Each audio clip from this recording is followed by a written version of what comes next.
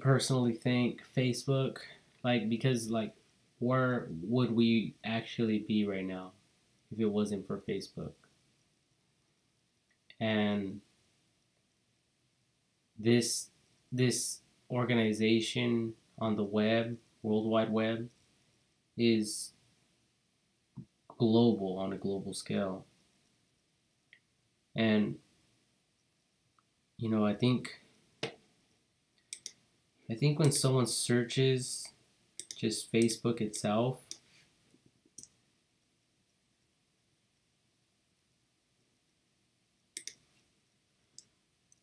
it might.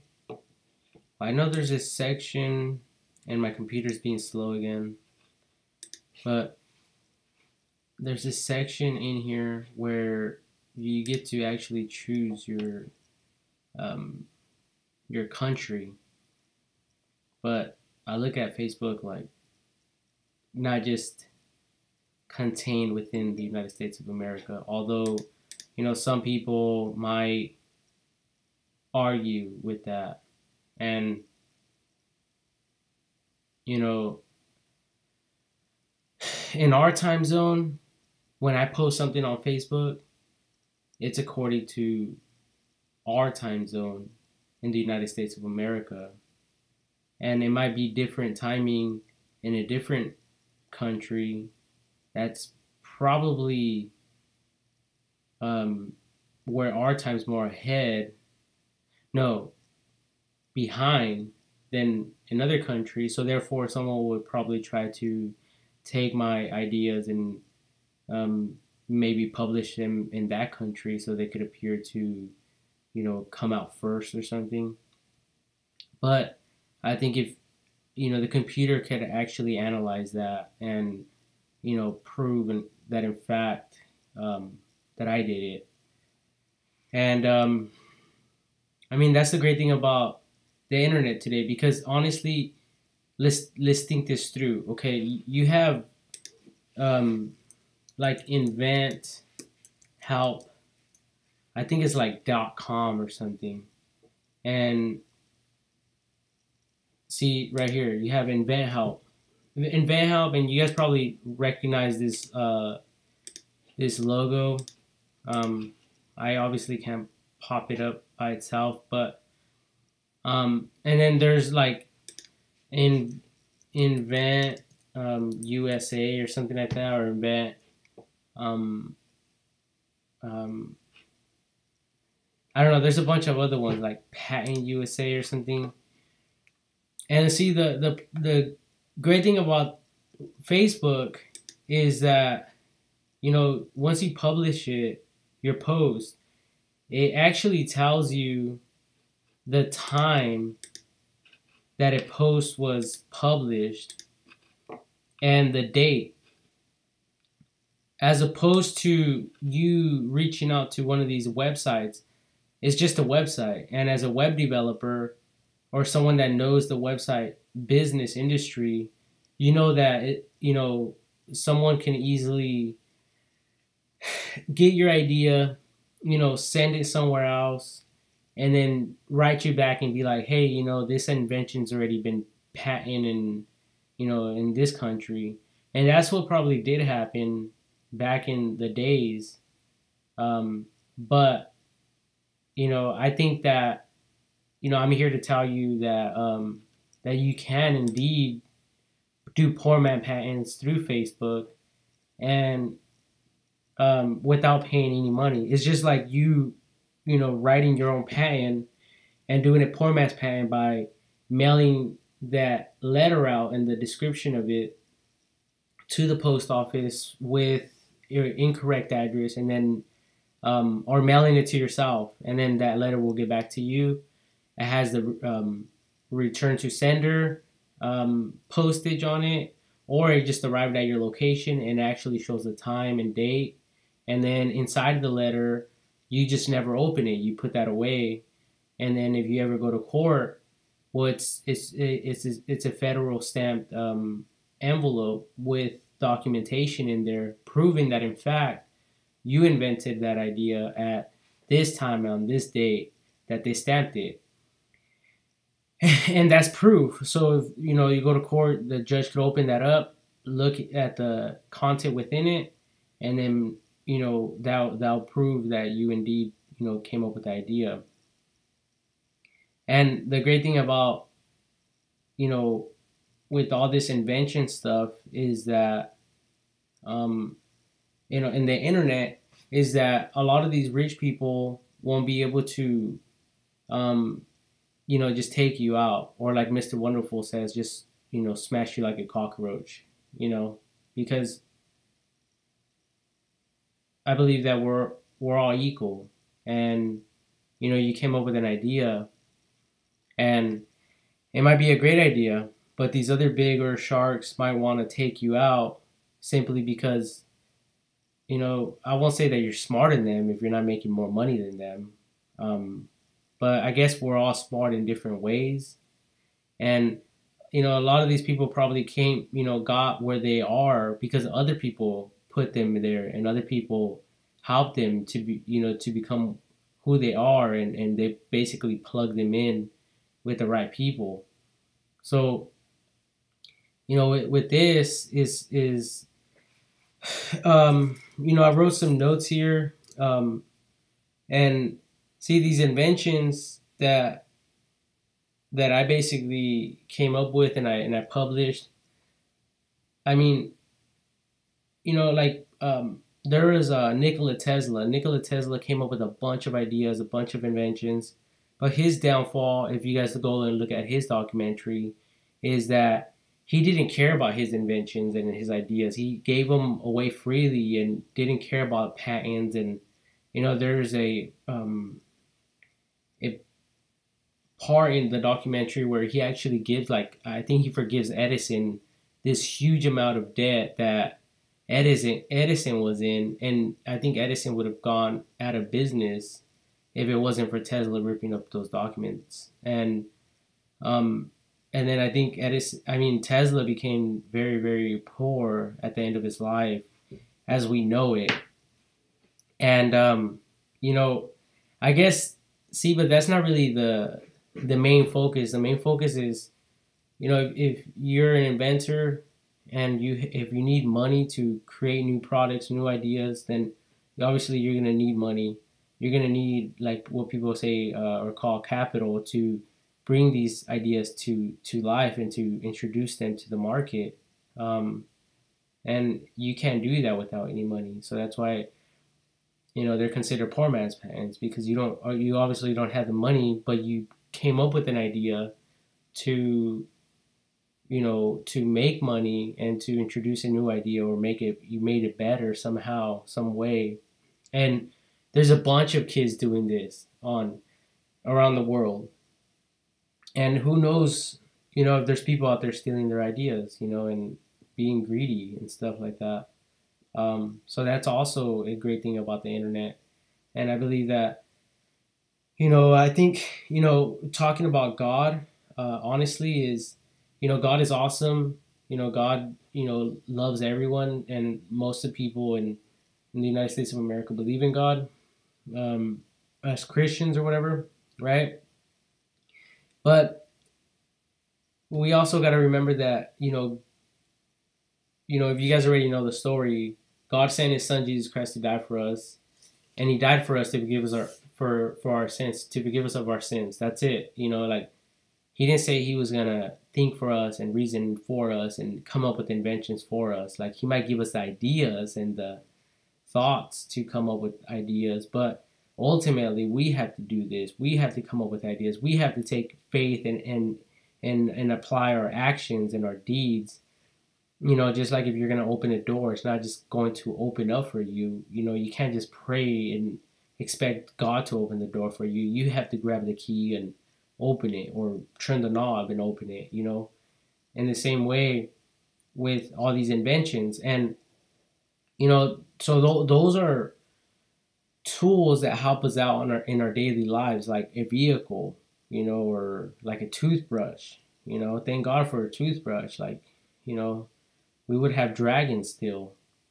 You know, um thank God for you know cologne and and perfume and deodorant and all this other stuff, you know, that's uh, that's out there and available to us. Now, that's the invention stuff, and those are miracles alone from God to us to introduce to people and to the world.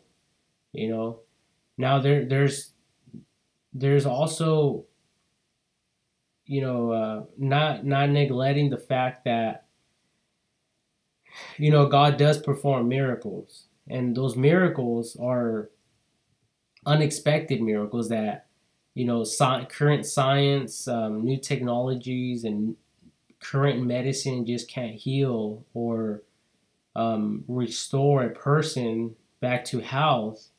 So then that's when you really expect god and you pray to god to to perform a miracle in someone's life or even in your own life that inventions simply can't reach out to and affect someone's life, you know? Um, so that's when, you know, you would really pray. Like if someone had, a, you know, has cancer or uh, is fighting some type of um, life threatening disease or something, um, or the doctor told them, hey, you only have a certain, you know, certain days to live or whatnot. And, you know, the only avenue or the only option you have now is to pray and ask God to to heal you. And there's a lot of people that are trained in this field and they actually pray, you know, like faithfully, like like a job. You know, you don't like going to work. You know, you work eight hours a day, right? For some most people, they work eight hours a day and you don't enjoy it. You know, it's just it's your job. You have to do it. And that's what the disciples did. They prayed every single day, every single day. And they would break bread and they would pray in tongues. And then I think they did this for like three years. And then they went out and then they started reaching out to people and healing the sick and casting out demons and a bunch of other things, right? Um, which leads me to um, you know, there there's people that are actually possessed by demons, and these demons are are what gives these people ideas and and you know runs their lives. And obviously like the bible says you know a person by their by their fruit you know what they do and what they produce what type of fruit they produce. And there was someone that told me a story where you know there's two men in the street as like a face off but i think one of them was i don't know if he was in his right state of mind maybe he was maybe he was intoxicated i have no idea but he said that there is a like another person there, which he later remembered or recalled that it was a demon, not an actual person. And there's, um, so there was actually four people there. There was a person for, with him, and there was a person with the other person that was arguing with him, um, or something like that. And um, basically, the, these demons were talking negative about each, you know, each the the two opponents that were there. Um, and then the two demons, which were obviously spiritual, um, were telling these two people, and they're listening to their conversation. So if someone said something, this other person, this demon would say something like, Oh, see, see, like say this now. Like, oh, you're really gonna let him call you you know, this, or you're really gonna allow him to say that, or ooh, ooh, what are you gonna do about that?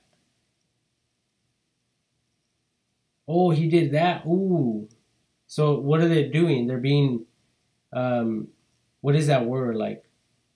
Um, when people like want to start a fight, you know, intentionally with other people, and that's what these demons were doing and and i don't know if you guys recall but in the in the New Testament, this happened a lot with with Jesus as well, when people would speak.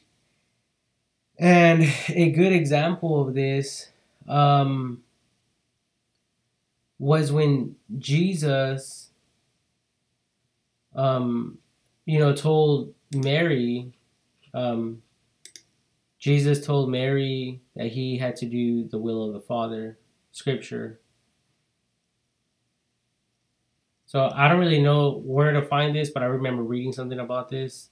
See, this it's Luke chapter 2, verse 49. And basically, um, um, his parents were looking for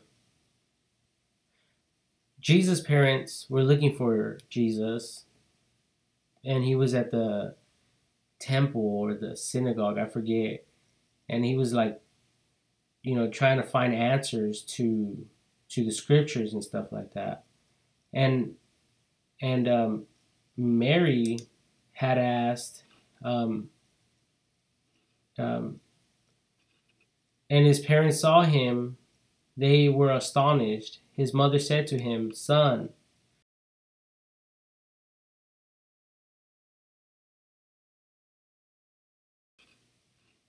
Why were you searching for me? He asked. Didn't you know I had to be in my father's house? So right here, um, oh no, yeah, right here, these quotations, Mary asked Jesus a question that wasn't really derived from her own thought pattern in a way, in her sense. It was derived from, you know, like a a jealousy uh, approach or or a um, like something greedy. Like she just wanted him to be with her and her father. And so that's why that's why she says, Son, why have you treated us like this? Your father and I have been anxiously searching for you. And Jesus said, Don't you know I had I had to be in my father's house? Um, and but they did not understand what he was saying to them. See, they didn't understand what was what he was saying. Why? Because um, they didn't understand because he knew that it wasn't really them that were asking. It, it's an evil force. And Jesus understood this more as he grew up that there's a spiritual enemy. And remember that that evil spirit was haunting the, uh, him and, and his parents the day that they they were uh, about to conceive Jesus, baby Jesus, and the wise men told the, one of the kings or the king at that time that um, you know uh, that he wanted to go worship Jesus, but in fact he wanted to go kill him. You know, and you guys know that part. So, you know, they were directed off for you know to a different direction or something like that, and and then there's other stories where angels would speak to um to to these people and even Jesus to to do certain things to escape from these um, people or these evil spirits that were, you know, chasing him or looking for him to cause evil upon his life or in even his family's life. Um, here it says, Why were you looking for me? He asked. Did you not know that I had to be in my father's house? Um,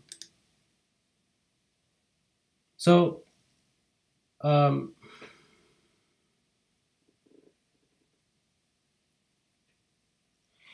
I guess another one is what is it? Get behind me, Satan.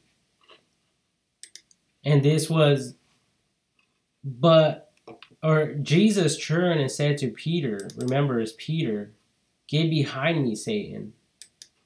See in the quotations is right or right here. Get behind me, Satan. You are a stumbling block to me. You do not have in mind the concerns of God, but merely human concerns.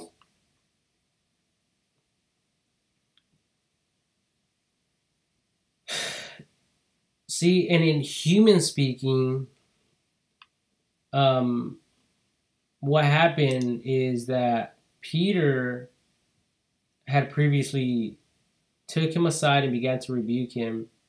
Never, Lord, he said, this shall never happen to you. Um, and see, because Jesus was basically telling them, I must be killed and on the third day be raised to life. Um, and basically, Peter was rebuking Jesus, saying, You know, never, Lord, this shall never happen to you.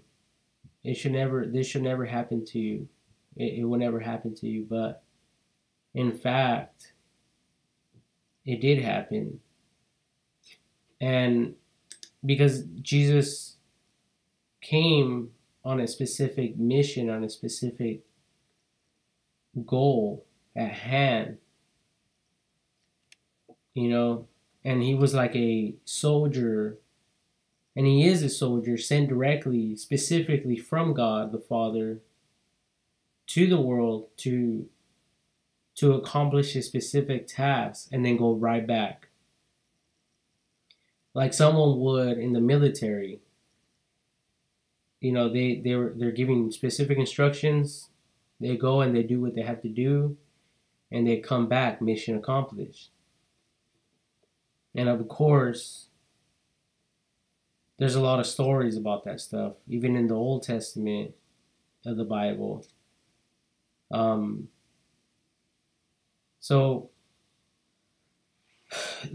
see, and you see this like behind me saying you are a stumble block to me you do not have in mind the concerns of god but merely human concerns and then you see this a lot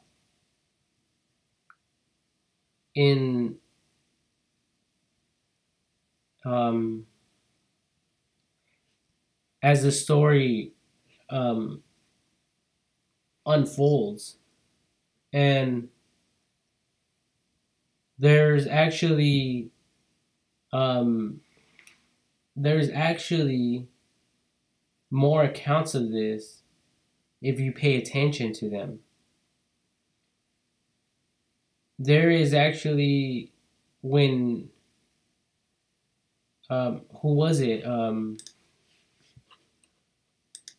Judas Iscariot, um, Jesus' disciple, uh, dis, uh, betrays Judas Iscariot betrays Jesus. Scriptures. See, so right here it's gonna. Here's a summary from Uh, it's gonna show you guys. Um, the Gospel of Matthew 26, 15 states that Judas committed the betrayal in exchange for 30 pieces of silver, according to Matthew 27, 1 through 10. After learning that Jesus was to be crucified, Judas attempted to return the money he had been paid for his betrayal to the chief priest and committed suicide by hanging. Now, um, here, Judas betrays Jesus. And what I want to talk about is these people here that go and and and uh, speak with Jesus Um, see, right here, eh, see, then Satan entered Judas. See, this is very important. Now, the festival of, of, of unleavened bread, whatever this means, called the Passover, was approaching, and the chief priests and the teachers of the law were looking for some way to get rid of Jesus, for they were afraid of the people.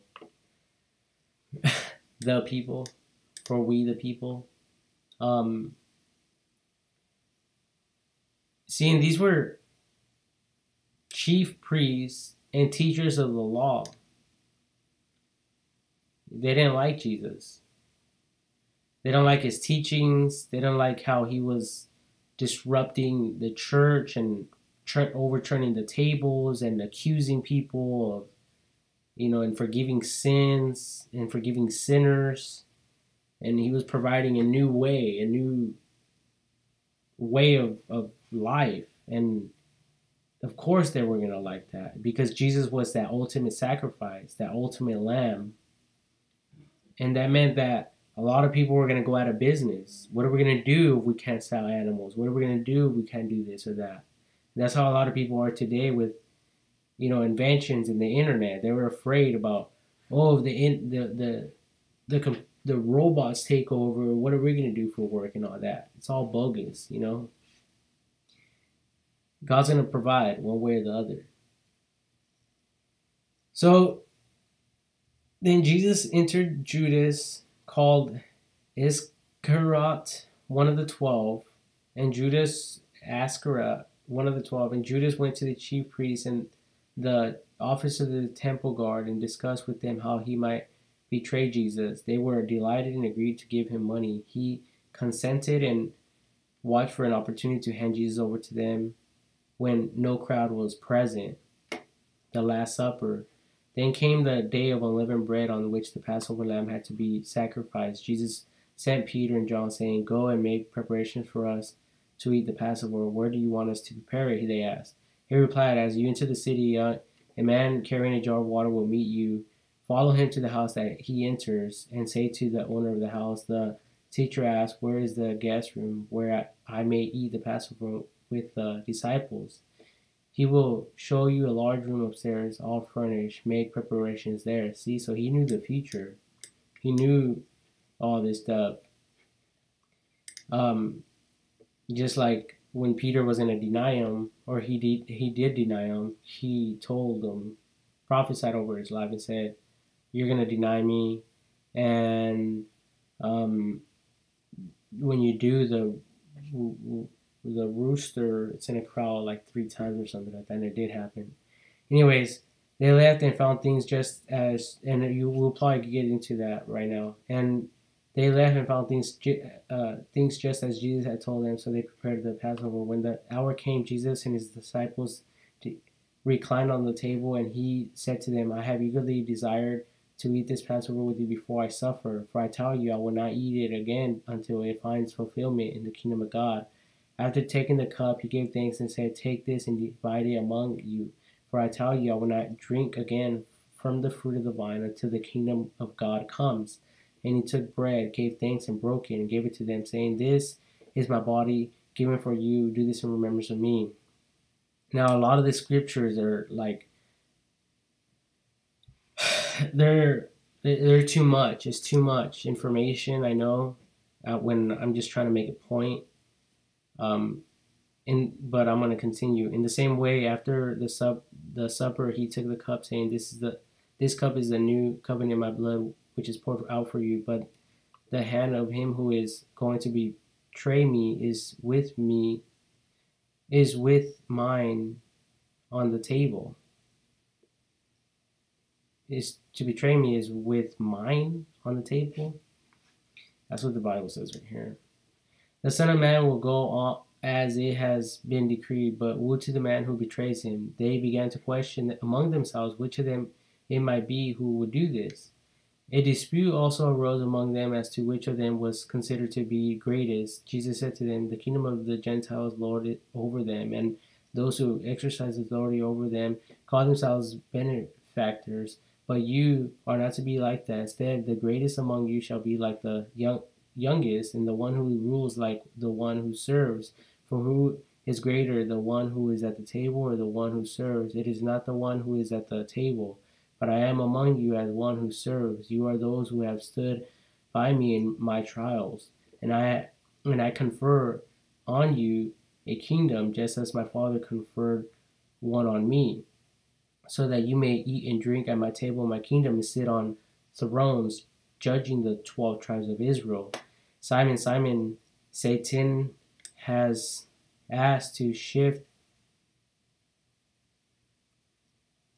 all of you as wheat, but I have prayed for you, Simon, that your faith may not fail. And when you have turned back, strengthen your brothers.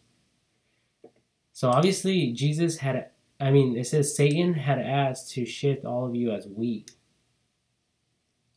So obviously, he was speaking to Satan or something in this context. But he, but he replied, Lord, I'm ready to go with you to prison and to death. Jesus answered, I tell you, Peter, before the rooster crows today, you will deny three times that you know me. Then Jesus asked them, When I sent you without purse, bag, or sandals, did you lack anything? Nothing, they answered. He said to them, But now if you have a purse, take it, and also a bag, and if you don't have a sword, sell your cloak and buy one.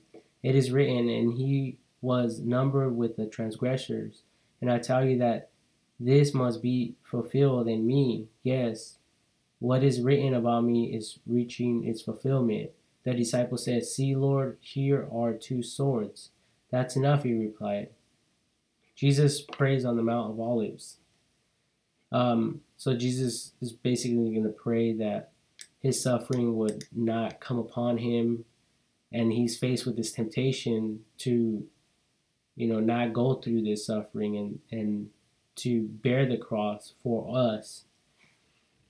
And but God has other plans, and He basically that's His whole mission is to die for us. So God basically allows him to be sacrificed, as you guys already know the story.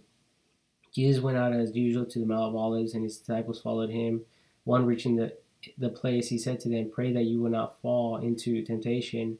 He withdrew about a stone's throw behind them, beyond them, knelt down and prayed, Father, if you are willing, take this cup from me. Yet not my will, but yours be done. And an, an angel from heaven appeared to him and strengthened him. And he, in being in anguish, he prayed more earnestly, and he, and his sweat was like drops of blood falling to the ground. When he rose from the from prayer and went back to the disciples, he found them asleep, exhausted from sorrow. Why are you sleeping? And sorrow. So they were crying. Why are you sleeping? He asked them, Get up and pray so that you will not fall into temptation. Jesus arrested. So here it is where, where I was trying to really get into. While he was still speaking, a crowd came up, and the man who was called Judas, one of the twelve, was leading them. He approached Jesus to kiss him. But Jesus asked him, Judas, are you betraying the Son of Man with a kiss? Jesus when Jesus follow, when Jesus followers saw what he was was going to what was going to happen, they said, "Lord, should we strike with our swords?" And one of them struck the servant of the high priest, cutting off his right ear. But Jesus answered, "No, more of this." And he touched the man's ear and healed him. Then Jesus said to the chief priest of the temple guard, and the elders who had come for him, Am I leading the rebellion that you have come with with swords and clubs? Every day I was with you in the temple courts, and you did not lay a hand on me. But this is your hour when darkness reigns. See? So every day I was with you in the temple courts, and you did not lay a hand on me. But this is your hour when darkness reigns. See, so he wasn't really speaking to them, he was speaking to their enemies.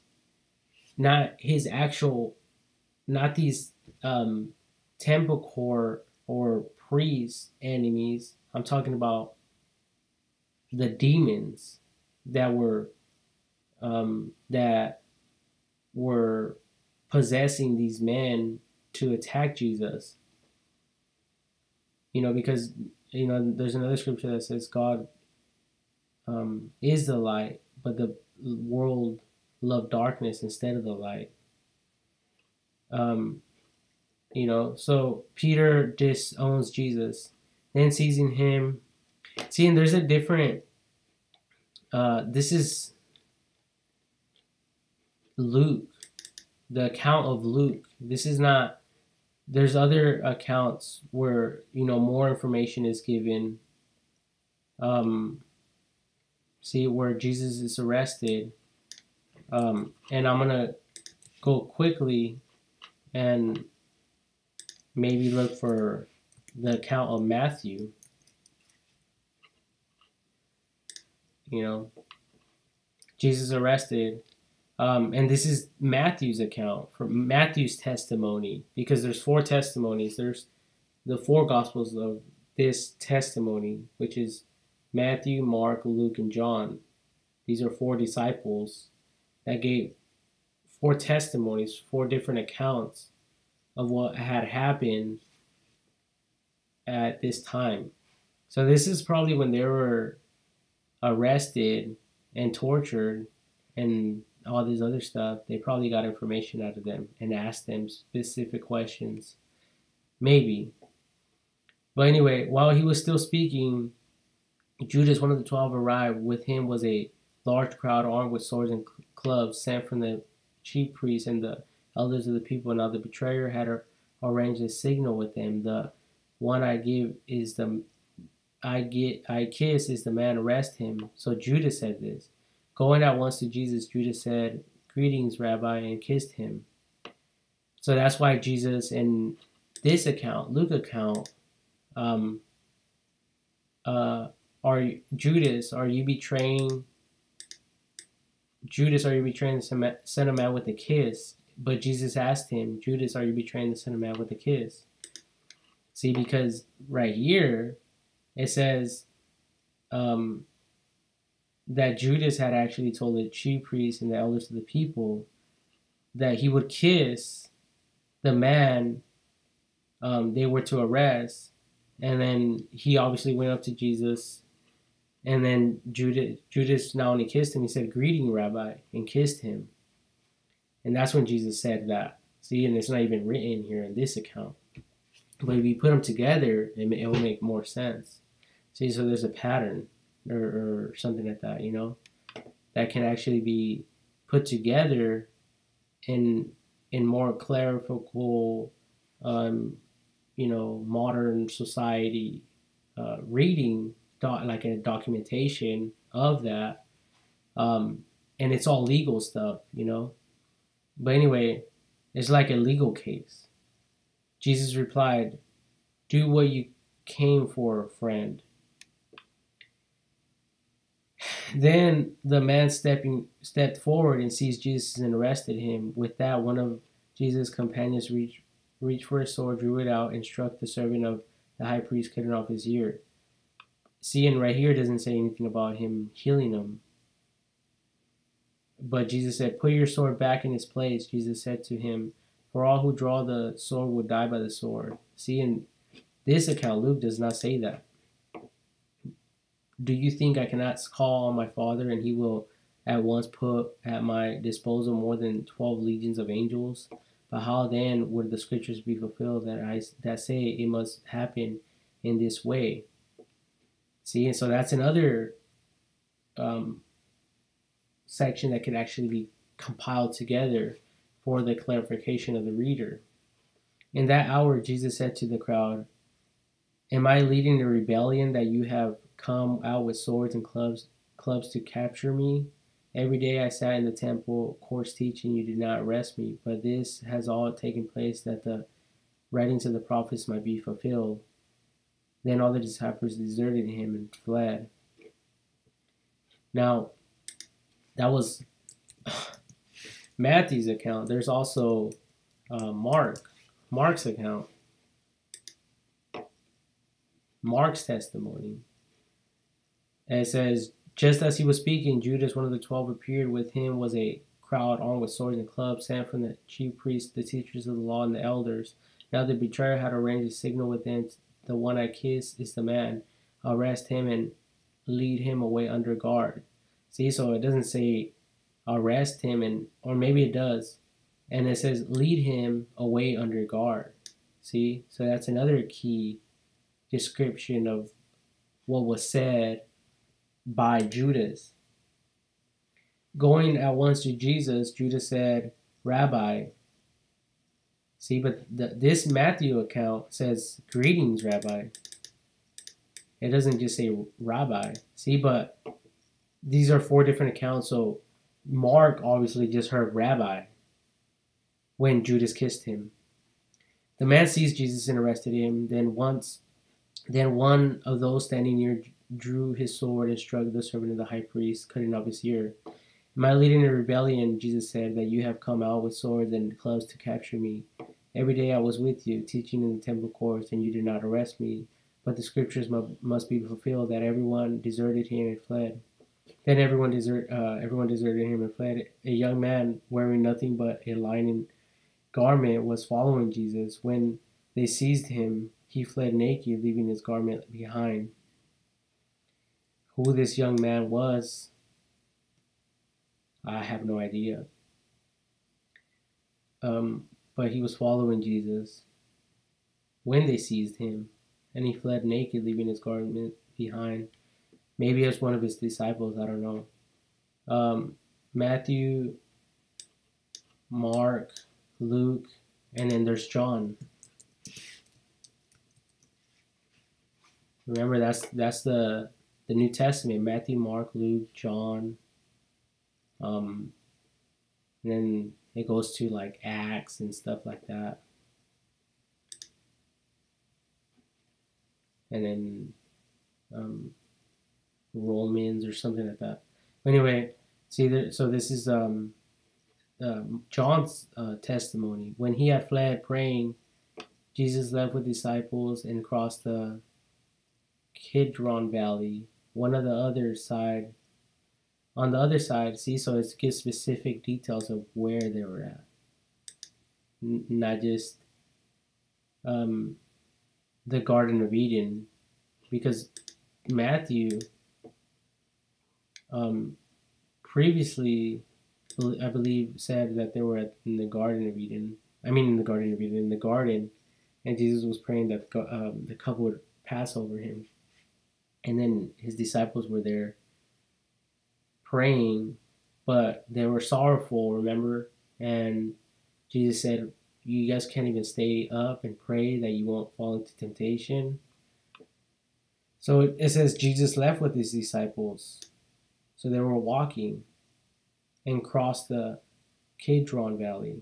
On the other side, there was a garden, and he said, and he and his disciples went into it. Maybe, maybe it was this garden or another garden. I'm not sure. Now Judas, who betrayed him, knew the place. Also, that was prior to him Jesus going into the garden. You know, so um so to get into the garden you know, so this is a puzzle, people. This see there's no really no maps and stuff, you know. Um the disciples crossed the Kidron Valley, and on the other side there was a garden.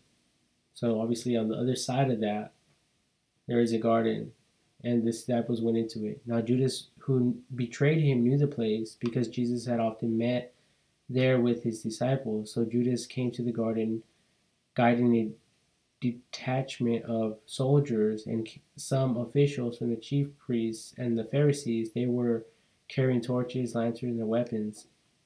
Jesus, knowing all that was going to happen to him, went out and asked them See, and he knew everything that was in, that was going to happen to him right here because he already remember he was in the garden. He was praying that this stuff would not happen to him because he was obviously a prophet. He was able to foresee the future.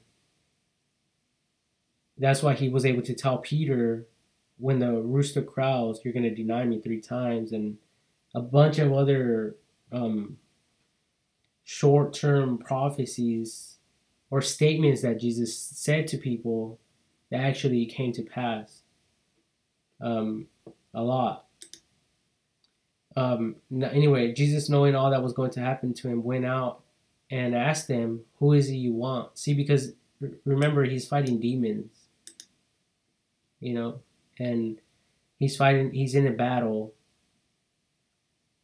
and God ultimately is trying to God is ult- ultimately trying to restore the Garden of Eden back into the earth.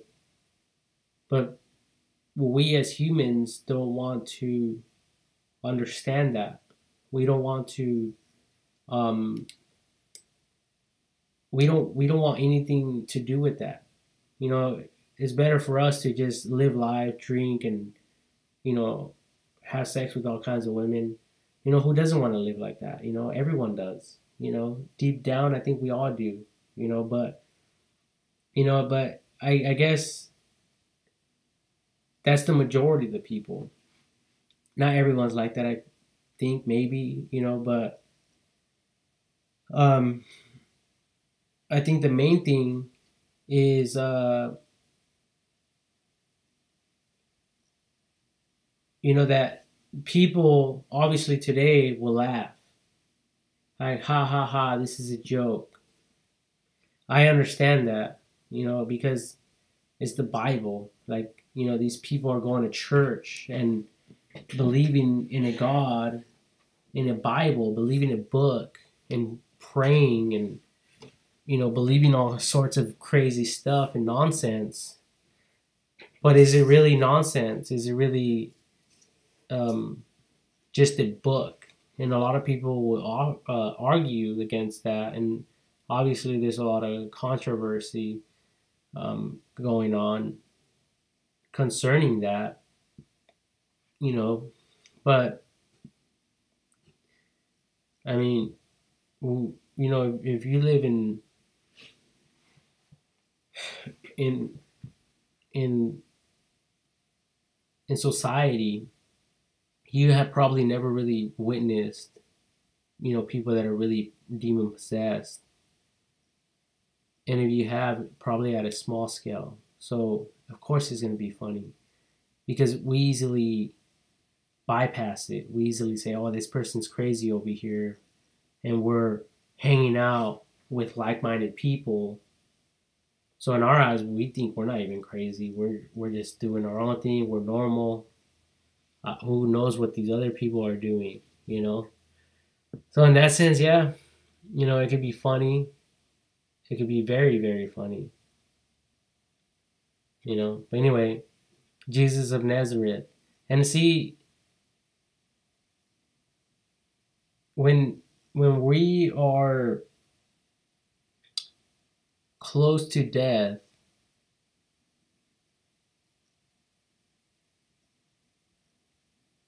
there's a lot more that we're going to experience. Um, and I don't say this lightly, you know, because, you know, honestly, I was hearing voices personally, and I thought I would never be, you know, I would never hear voices I thought that was just for the crazy and insane. And never for someone that's normal or that's, you know, trying to do good in life or whatever. Maybe I was hallucinating. I still don't know to this day. Um, but maybe what caused it on a more logical ter- like terminology is I remember I was doing window cleaning and I was doing pressure washing for residential homes and I remember I had gasoline in the back of the van and sometimes it would spill and I would smell it. It was very, very toxic. Maybe that could have caused it. I to this day I still question a lot of this. I, I documented a lot of stuff you know, maybe there's people out there that know more about this stuff than I do. And that's why I documented it because you know, like if if that's something that you first I mean that something that you experience for the first time and then there's really no one there around you to talk to you about it, it it's it could be very scary and you're just uns- you're living in uncertainty and what should I do in this situation? What can I do in this situation? You know, and all these things come up uh, on top of that, which you know put more and more stress and anxiety upon you. But anyway, anyways, going back to this, so yeah, Jesus is basically fighting not for his life because God already told him, you know, th- this cup is going to come upon you and you are going to drink it and you are going to die for for all humanity as an ultimate sacrifice. So he's not fighting for his life. He willingly gave it up. That's why in Matthew no. Yeah. It says put your sword in place, Jesus said, for all who draw the sword will die by the sword. Do you think I cannot call my on my Father, and he will at once put at my disposal more than twelve legions of angels? But how then would the scriptures be fulfilled that say must happen in this way? See, so Jesus could have ended it like that, but he chose not to. Because he had you and me and the whole world, us sinners together the whole sin idea, he looked at that problem and he said, you know what? I'm going to put an end to this. And I'm going to make my father happy by laying my life for for all mankind. That was the mission of Jesus. That's what he did. And that's what every Christian believes. That's what you know the Bible says about the free gift of salvation. And you know John 3:16 and you know just go to church, you know. You hear it they'll they'll preach your years um to death where you don't want to hear this stuff anymore like oh my god every year you know uh, Easter, the same message over and over and over. Like, it's ridiculous. Like, probably what the disciples probably considered milk and not solid food. Like, when are we gonna, when are we gonna move from this stage and move to a different stage? And if you're on that stage, when are you to move up to a different stage or a different one than that? There's got to be basic training, basic training of the scriptures, and then more advanced after that, and more advanced after that, and more advanced after that. And thanks to the internet, we're becoming more and more organized. Thank God. But anyway, Jesus of Nazareth, they replied, he said, I am he, Jesus said. And Judas the traitor was standing there with them. When Jesus said, I am he, they drew back and fell to the ground. So you guys see here, none of this wasn't written in Matthew, Mark, and Luke. It is only recorded in the Gospel of John. Again, he asked them, Who is it you want? Jesus of Nazareth, they said. Jesus answered, I told you that I am he. If you are looking for me, then let these men go. So basically, he was saying, you know, like, you know, you guys came here for me. Let these other people go. You know, so Jesus was looking out for for his disciples. because he already knew what these people were going to do to him. And maybe he didn't want that to happen to the, to his disciples at that time and point of their lives because remember there's still Judas still has to betray him according to what Jesus said. And then later in the scriptures Jesus you know forgives him, and Judas, no, and then Pete, Peter denies him, and then Peter, you know, Jesus talks has his talk with him at, in the spirit, and forgives him, and even gives him food and stuff. And then Peter, and later on in scriptures, in the scriptures, in the story, in the timeline, he gets crucified. But he said something about I'm not I'm not worthy to be cru- crucified like Jesus. So they flipped him upside down and crucified him in that manner. So imagine watching the Passion of the Christ all over again. But imagine this being Peter's life, him denying him, and then him getting whipped like Jesus did. Probably carry the cross as well, because that was um, part of the execution for a prisoner back at that time for breaking the law and stuff like that, for murders and stuff like that. Because remember, there's two people on the side of Jesus, and they had an argument like, you know, we are dying for our our murders or our crimes, but this man in the center, Jesus, you know, he has committed no crime. But remember, God said, you know, today you're going to be with me in paradise. The other one said, he said, basically, you're going to hell.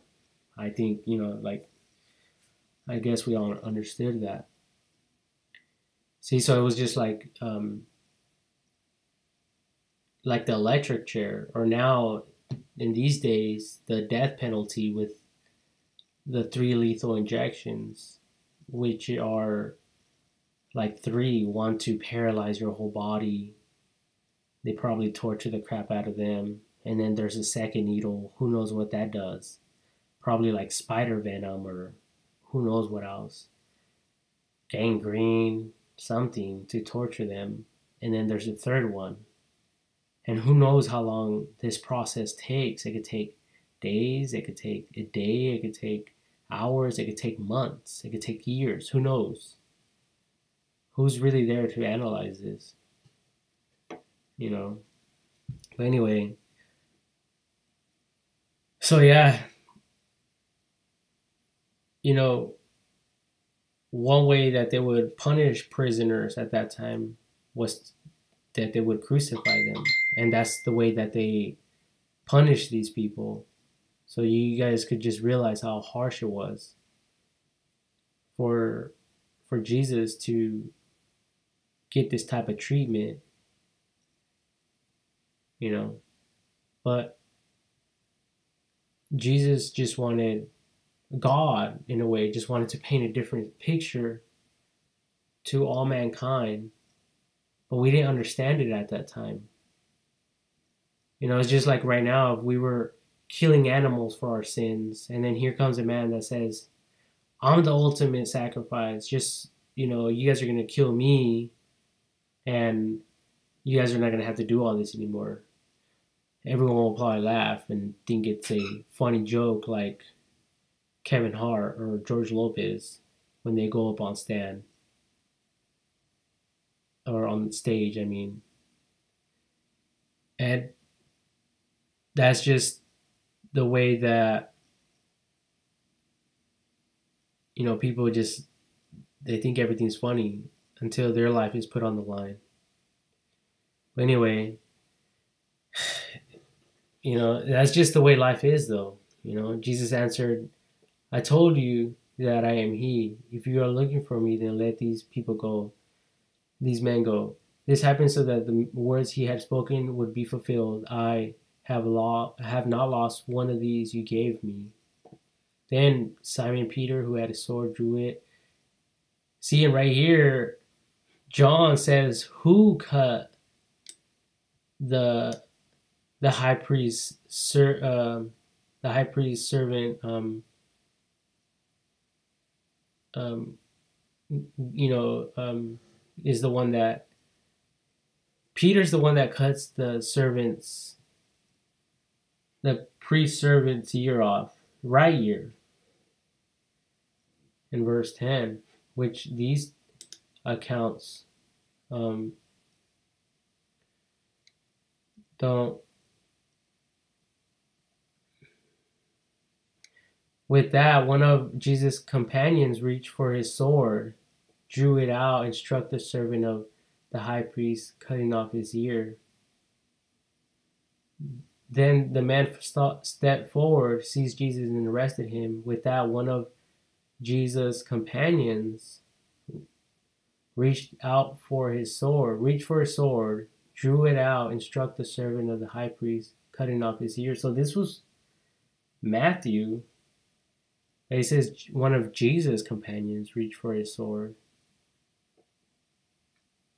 See, so there's legal people need to come in here and really analyze this stuff, you know? Like, because one of Jesus' companions reached for his sword.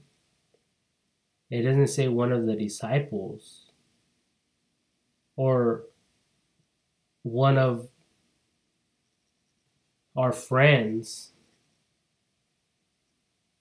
It says one of Jesus' companions, like if he wasn't one of Jesus' companions. Then one of those standing near drew his sword. That this is Mark's account. Mark 14, 47. Then one of, of those standing near drew his sword and struck the servant of the high priest, cutting off his ear. Luke. Um, but Jesus answered, um, Oh yeah. Uh, then Jesus, Jesus followers saw what was go- going to happen. They said, "Lord, should we strike with our swords?" See, so someone, someone said, "Lord, should we like fight? Should we strike with our swords?" And one of them struck the servant of the high priest, cutting off his right ear. Um, Jesus answered, "No more of this." He touched the man's ear and healed him. Um, then John verse 10, John 18, verse 10 says, Then Peter, then Simon Peter, who had a sword, drew it and struck the high priest's servant, cutting off his right ear. The servant's name was Malchus. You know, so it, it says that Peter, who denied Jesus, um, Simon Peter, who who's in pretty soon going to be cutting off, I mean, denying Jesus. This is the man who cut the high priest um, year off. See, so, I mean, if you really want to study the Bible, you got to analyze all four testimonies. And I think the Catholic Church has I think, a different um, gospel within it. So it could all also be cross referenced if you really want to know more about the Bible.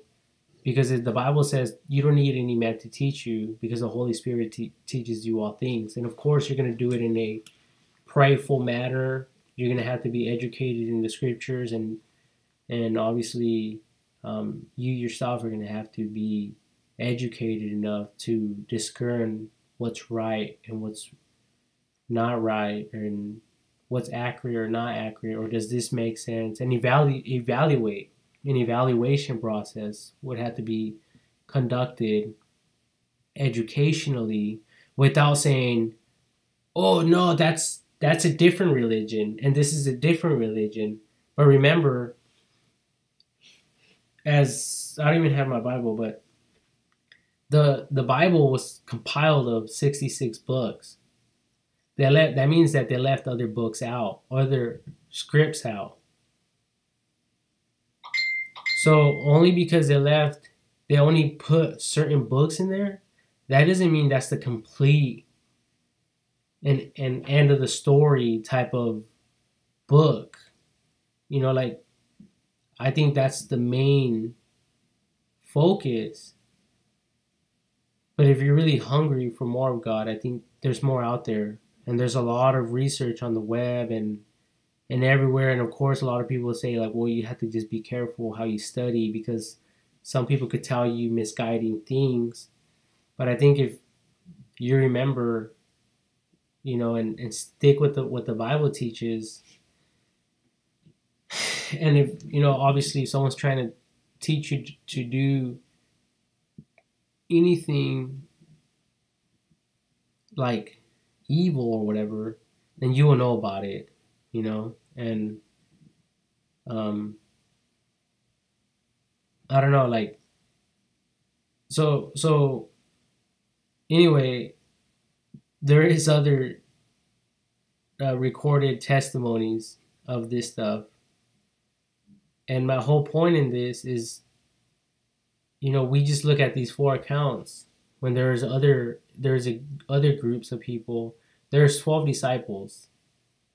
Minusing one of them, which was Judas Iscariot here, who who was a traitor because he was standing right there. It says right here, and I am he, Jesus said, and Judas the traitor was standing there with them. Then Jesus said, I am he. Um, they drew back and fell to the ground. See, so Judas was there. He was one of the twelve. He obviously didn't write a testimony because he went and committed suicide. He hung himself. So that leaves us with five people, five testimonies. Judas killed himself. Matthew, Mark, Luke, and John.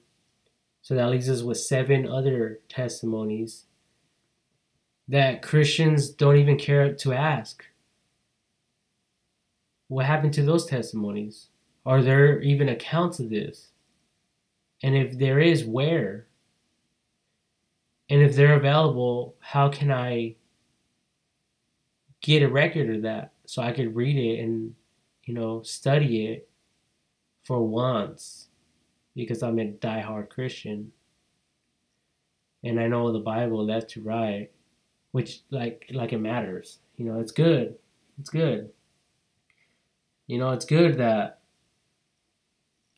that you know scripture is good and all this and this and that, but the disciples also understood this and they, they said that they don't need to come at people with fancy words and stuff like that like a YouTube person would or like a salesman would trying to sell you on an idea. No, they just they they were simple people just like you and I. And they would simply share what was in their heart.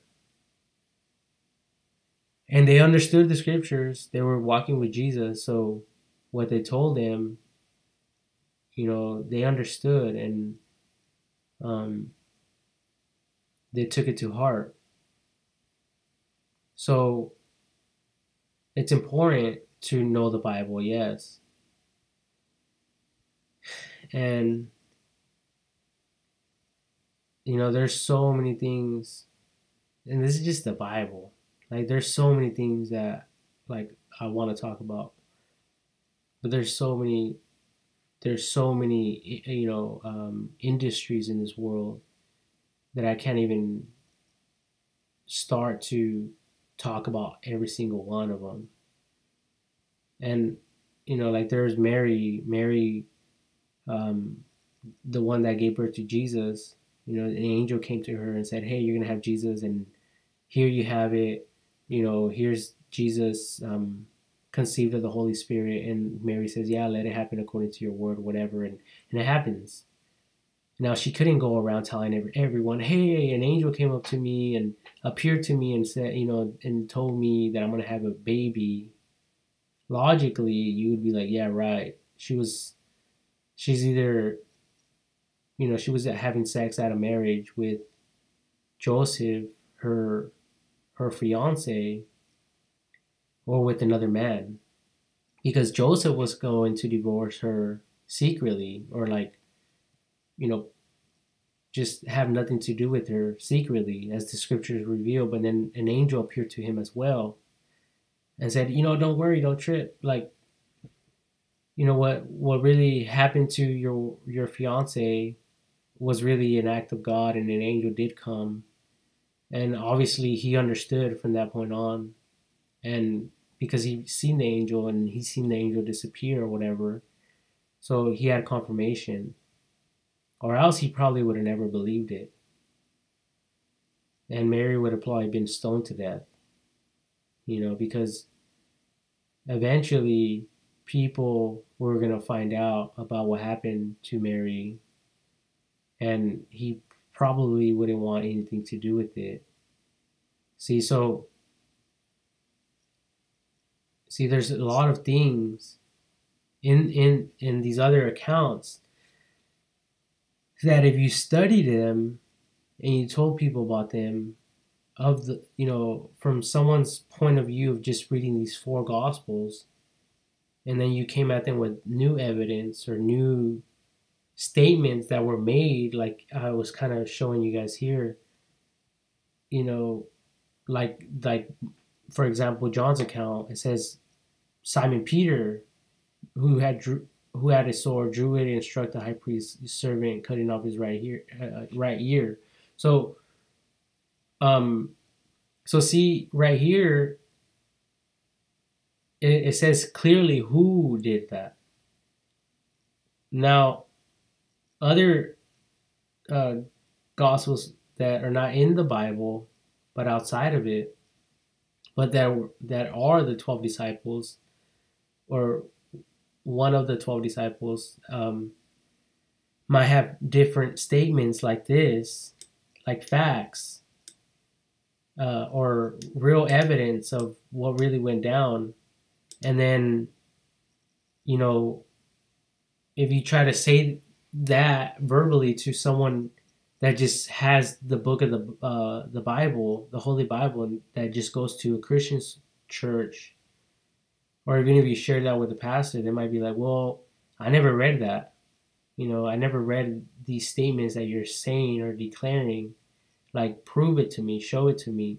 And then if you go and tell them, well, it's, it's um one of the other disciples' um uh, testimony, they might, you know, push you aside or criticize you for even going out there and looking and trying to educate yourself on what, what really went down, you know? So it's all about education. It's all about really knowing, you know, before judging anyone. Like when people say, you know, this person, you know, this person went to heaven because he did this and this and this, but that's not necessarily true. That's why a priest or whatever would say would say more some more in the terms of may God have mercy on his soul. Not really getting into if he went to heaven or hell. Um, and then there's this scripture that says, because God has no partiality, no favoritism. And then there's other scriptures that say it's going to be easier for a prostitute and a poor man to enter the kingdom of heaven than one who thinks is upright and righteous and that is rich. Now, I don't know what riches have to do with anything, but that's what it says, you know. And seeing even that, I don't think riches are, are an evil thing because Solomon was the wealthiest person alive in the Old Testament. I guess is how it's used. You know, so there, there's a lot of things that need to be considered and really um, like analyzed and, and studied. Because there's another one that says that even the angels refuse to rebuke Lucifer or Satan there's a reason why. Remember, he was the highest ranking official or angel in the angel race, like the human race, but the angel race. So obviously they respect him and fear him. Where they're like, you know what, we're not gonna say nothing about you. We're gonna let God judge you. You know? and I guess it's easy for us to to think we're holy and we're going to heaven and this and that, but we just never know. You know what I mean? Anyway, Jesus answered, I told you that I am he. If you are looking for me, then let these men go. This happened so that the words he had spoken would be fulfilled. I have not lost one of those you gave me. Then Simon Peter, who had a sword, drew it and struck the high priest high priest servant, cutting off his right, right ear. The servant's name was Malchus. Malchus. Oh, so he struck the high priest's servant, and the servant's name was Malchus. So it wasn't really the high priest who got his ear cut off. It was the servant. Jesus commanded Peter, Put your sword away. Shall I not drink the cup the Father has given me? Then the detachment of soldiers with its commander and the Jewish officials arrested Jesus. They bound him and brought him first to Annas, who was the father in law of Saphias, the high priest that year. Caphias or Saphias was the one who had advised the Jewish leaders that it would be good if one man died for the people. Um, see, so, anyways, Jesus is obviously still fighting demons. Um, um, and here, Peter is um, is uh, is is denying Jesus. Peter's second denial and third denials. The high priest questions Jesus. And I can read this, I guess. Um, Peter's first denial, and Jesus actually witnessed some of these. And I guess I could read them since I'm already here. Why not? I, I mean, I wasn't really trying to read all this stuff, you know. I was just trying to prove a point that there's demons even today that are that somehow have a like a portal or a way of getting through us to hate other people and for other people to hate us. And I guess um like that's just part of the fallen state of mankind you know that from the point of the adam adam and eve you know i mean even jesus got crucified so i guess you know we we are all going to die too one way or another anyway peter's first denial simon peter which is also the guy that cut the servant, the high priest servant's ear, as stated earlier. And another disciple were following Jesus because, and they were following him not noticeably but secretly. And you'll see why. Because this disciple was known to the high priest. He went with Jesus into the high priest's courtyard, but Peter had to wait outside at the door.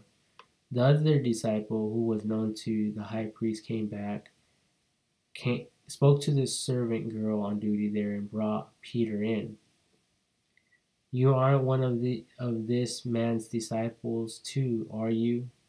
She asked Peter. He replied, I am not. So right there he denied Jesus. It was cold, and the servants and officials stood around a fire they had made to keep warm. So think about like a winter day, maybe snow outside, maybe not, but it was cold. And the servants and officials stood around a fire, bonfire, whatever. Probably smoking cigarettes, drinking beer, who knows? They had made to keep warm. Peter also was standing with them, war- warming himself the high priest questions Jesus. Meanwhile, the high priest questioned Jesus about his disciples and his teaching. I have spoken openly to the world, Jesus replied. I was um I, I always taught in synagogues or at the temple where all the Jews came together. I said nothing in secret. Why question me? Ask those ask those around ask those who heard me. Surely they know what I said. When Jesus said this, one of the officials nearby slapped him in the face. Is this the way you answer the high priest? he demanded. If I said something wrong, Jesus replied, testify as to what is wrong. But if I spoke the truth, why do you strike me? Then Annas sent him bound to Caiaphas, the high priest. Peter's second and third denials.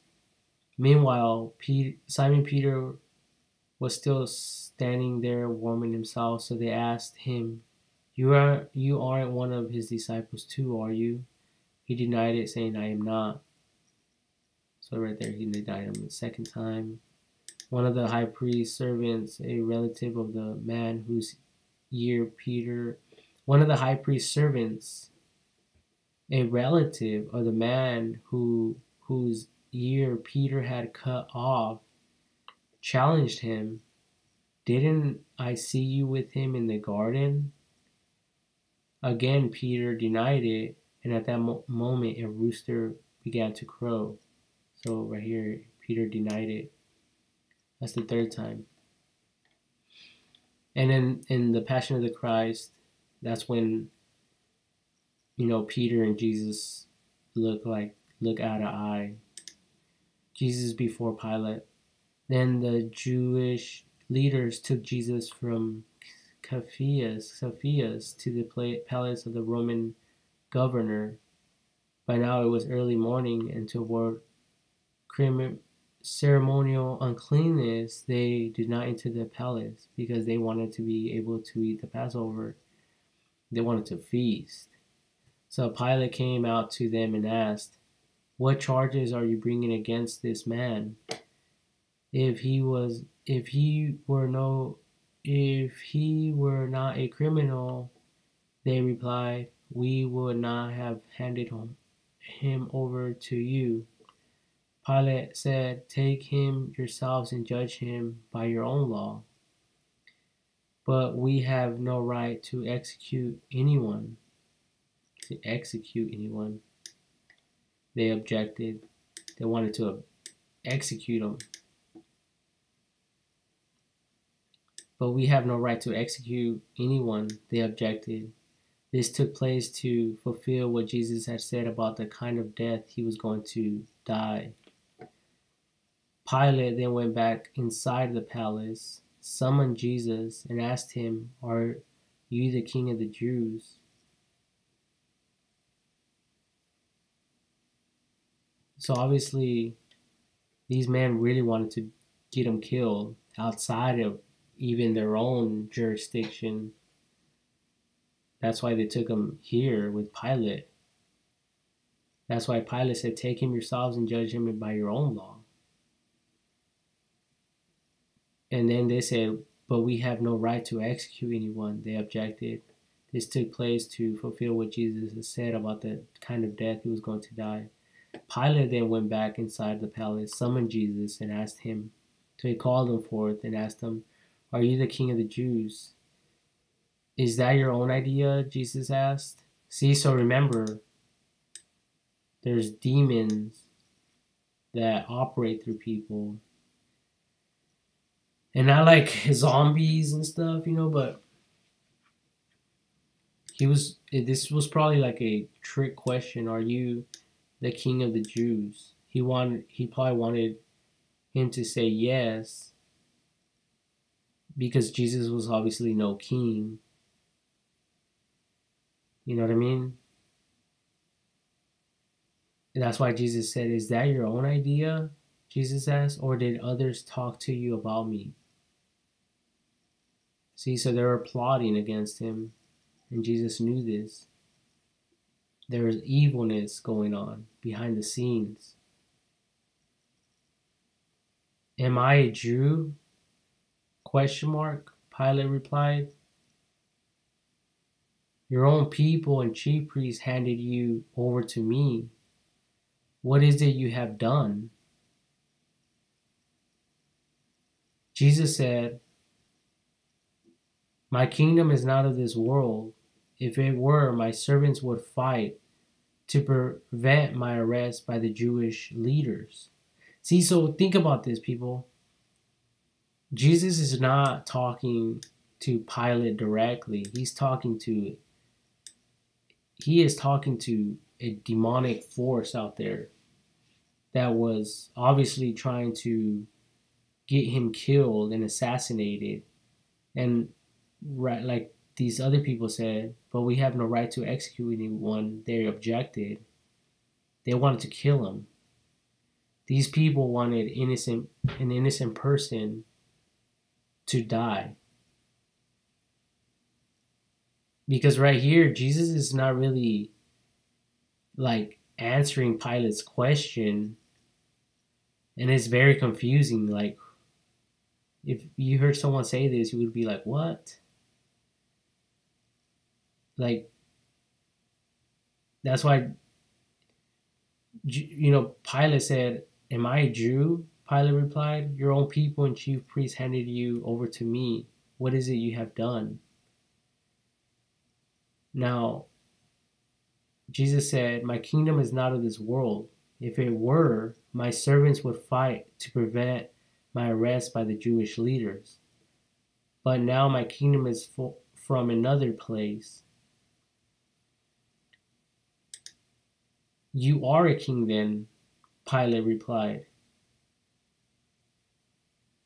Jesus answered, You say that I am a king. In fact, the reason I was born and came into this world or in, in into the world is to testify to the truth. Everyone on the on the side of truth listens to me. See, this is the justice system.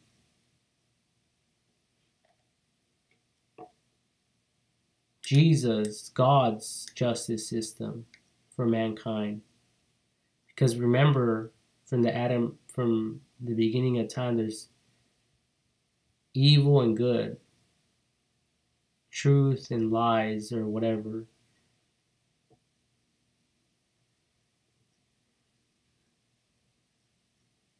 So that's why Jesus answered, You say that I am a king, in fact, the reason I was born. And because we really know this as the overall um, story of the Bible, we know Jesus is a king. And we know that his kingdom is not of this world. You say that I am a king. In fact, the reason I was born and came into the world is to testify to the truth. Everyone on the on the side of truth listens to to me. What is truth? Obviously, this guy didn't really know the mission. He doesn't really know what Jesus is really trying to do for mankind.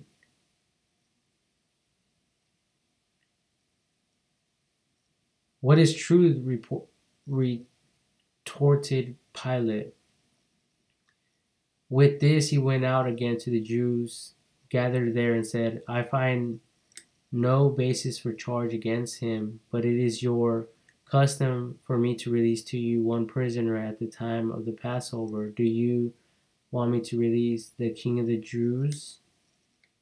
They shouted back, No, not him. Give us Bar, Bar Barabbas. Now, Barabbas had taken part in an uprising.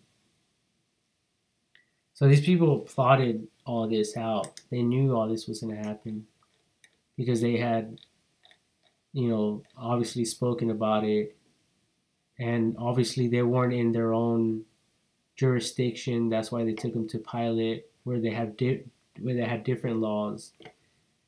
And that's why they picked Jesus up that day, that very hour, See, so they had to contemplate this. This is like premeditated murder before it even happened. And Jesus already knew all about it.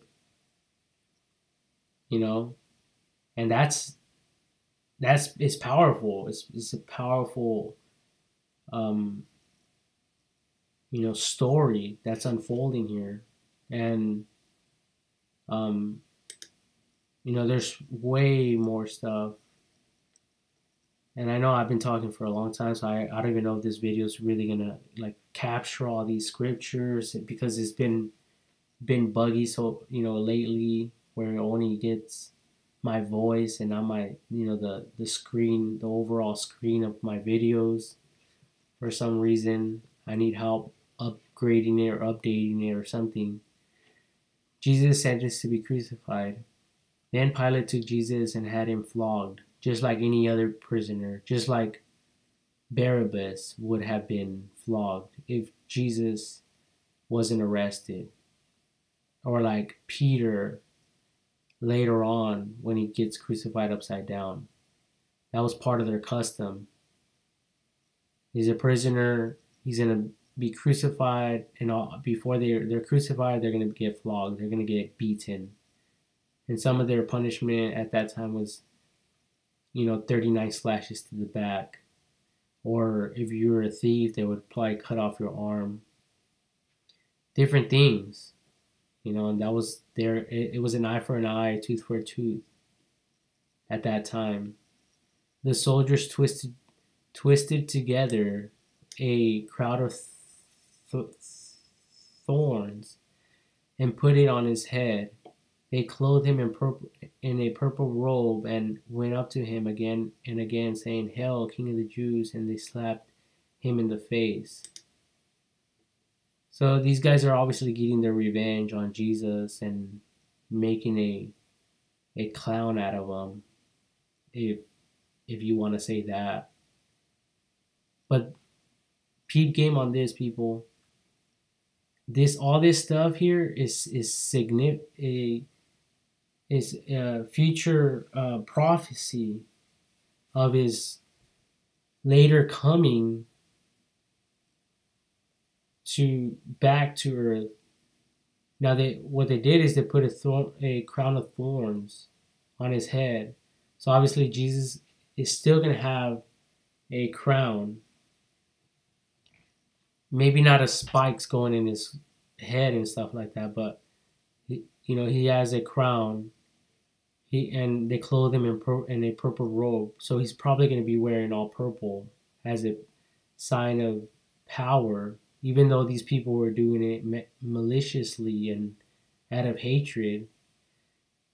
And it says, King, Hail, King of the Jews.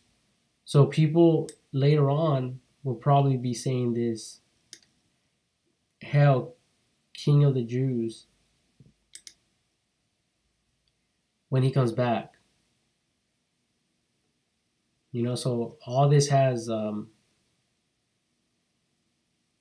relevance to future events and it's all connected, interconnected, and it's one big puzzle that is that will be put together and it will make sense in a way because some of this stuff is everywhere and people have to make sense of it all like what? And i remember when i started reading the bible i was i was lost um, but I, I kept studying i kept reading i kept um, you know, like trying to figure everything out.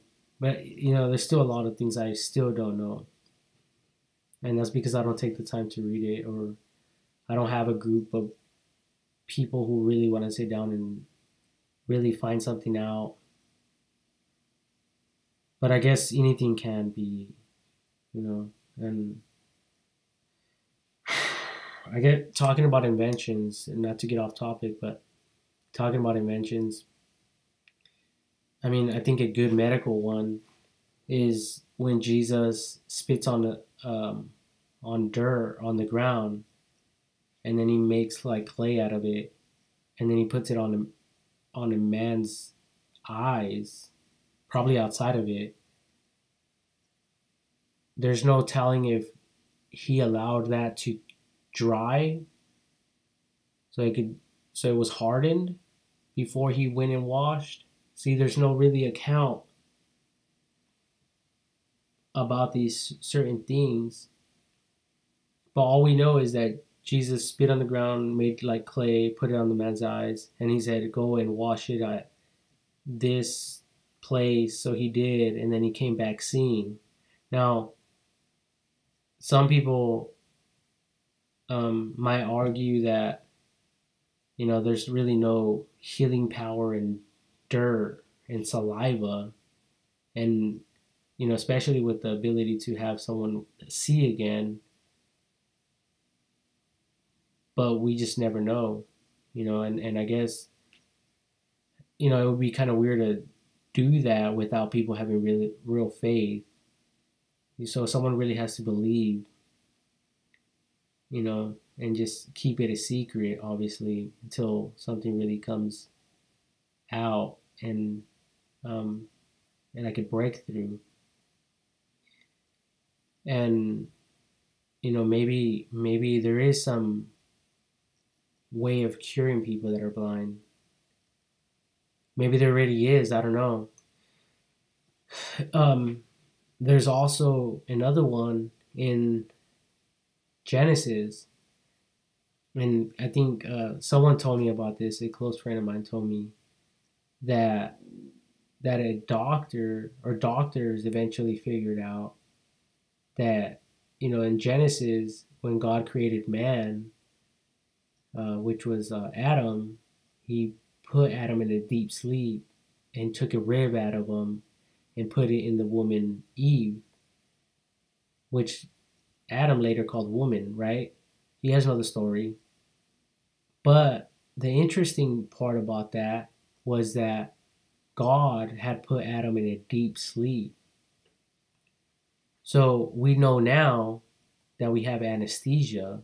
Anesthesia has the ability to put someone to sleep and to numb all pain. You know, there's no way God could have just opened up Adam and taken a rib or just taken a rib period without opening them up or something or something like that. You might so it, it was basically a surgical procedure that took place. You know, and then so that's how they later found out that in order to perform a surgery, like when someone gets hurt or needs surgery for whatever reason, they put that person under, they put them to sleep, then they're able to go in there and do whatever they have to do. And and then boom, the person just wakes up, and that's what happened to to Adam. And obviously, I don't know if it's overthinking things. I don't know if it's accurate or not. I, I mean, see there's there's a lot of details that were left out and but see that's why i bring this up and there's a lot of other things and if you read closely in the scriptures um that are real um miracles that took place.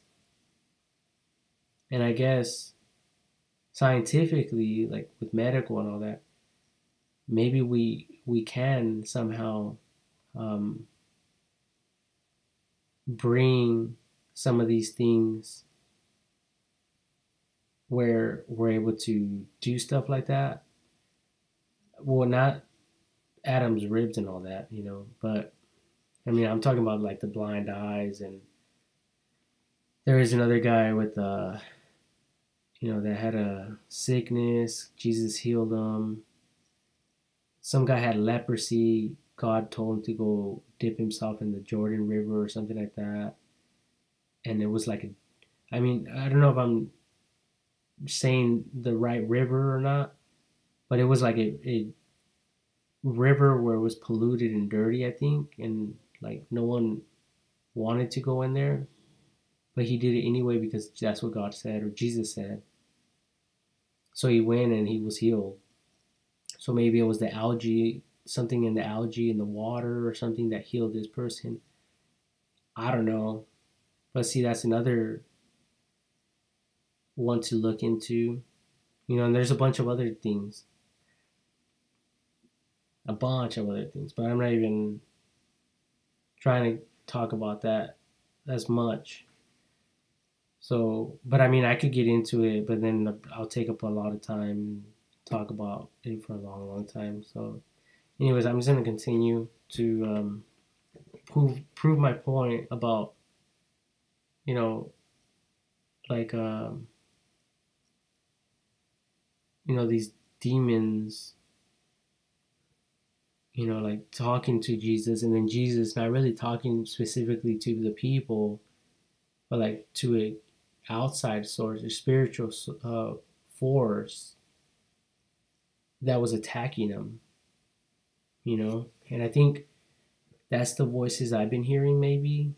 You know, and I don't know, like I'm not Jesus. You know, I'm not, you know, a prophet. I'm not anyone special. than other people out there, you know, and that's why I have a hard time um, understanding a lot of what's going on, and that's why I kind of came to these conclusions about maybe Jesus, you know, was in fact um, talking to a spiritual force and not to people, you know. Anyway, um, once more, Pilate came out and said to the Jews gathered there, Look, I am bringing him out to you to let you know that I find no basis for a charge against him. When Jesus came out wearing the crown of thorns and the purple robe, Pilate said to them, Here is the man. As soon as the chief priests and their officials saw him, they shouted, Crucify, crucify. But Pilate answered, You take him and crucify him. As for me, I find no basis for a charge against him. The Jewish leaders insisted, We have a law, and according to that law, he must die because he claimed to be the Son of God. When Pilate heard this, and now we all claim to be the Son of God or the daughter of God, God of the the, the Son of the Father, the, of the daughter of the Father, right? There's um, there's a license plate that said, I am a princess to the father or something like that. I, I don't know. But anyway, but that was back at that time. They, I guess, they weren't allowed to say that. Like, different words weren't allowed to say today because people get, you know, offended easily. It could be race, racial. It could be um, not racial. You know, don't even want to go there. You know, and it's, it's dumb. It's just a men- way of thinking, a mentality way of thinking. But anyway, I'm not even going to go there. But verse 8 says, When Pilate heard this, he was even more afraid and went back inside the palace. Where do you where do you come from? He asked Jesus. And remember there's in in a actual the devil goes up to and fro. See right here. Right here. Job 1 7. The Lord said to Satan, Where have you come from? The Lord said to Satan, where have you come from? Satan answered the Lord, From roaming throughout the earth, going back and forth in it. See, so when Pilate heard this, he was even more afraid. He went back inside that palace. And Pilate asked Jesus, Where do you come from? He answered he asked Jesus, but Jesus gave him no answer. Do you refuse to speak to me? Pilate said. Don't you realize I have power either to free you or to crucify you? See, so right here, Pilate is basically addressing his authority over Jesus' life. And Peter, I could read it again. Peter said, Do you realize I have power to either free you or to crucify you? Jesus answered, so this is probably like a demon speaking to him. And Jesus said, You have no power over me. If it were not given to you from above, therefore the one who handed me over to you is guilty of a greater sin. Because what did um, Matthew's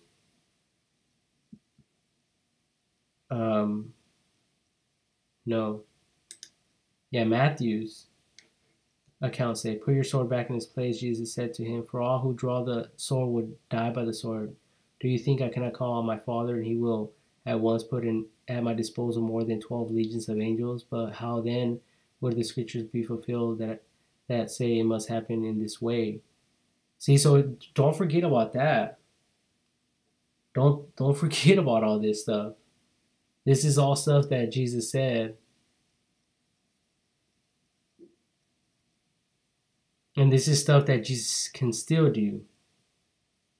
Because in the John account, um, they they fell back.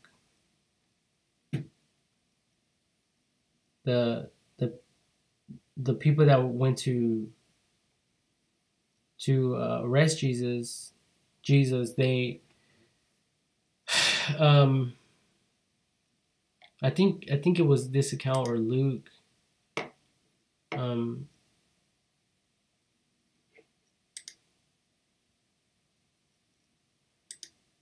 Yeah, I think it was John. Oh wait, I'm reading. Oh no wonder I'm reading. Um. Uh. Where was I at?